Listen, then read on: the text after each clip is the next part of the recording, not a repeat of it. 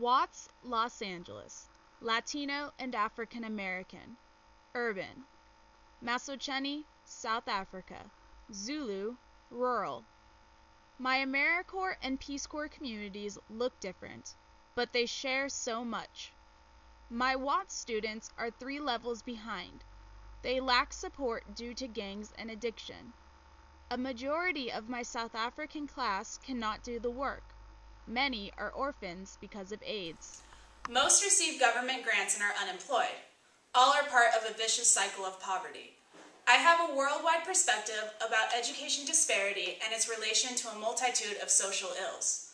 My urban and rural stories are case studies for the classroom. My experiences are not universal.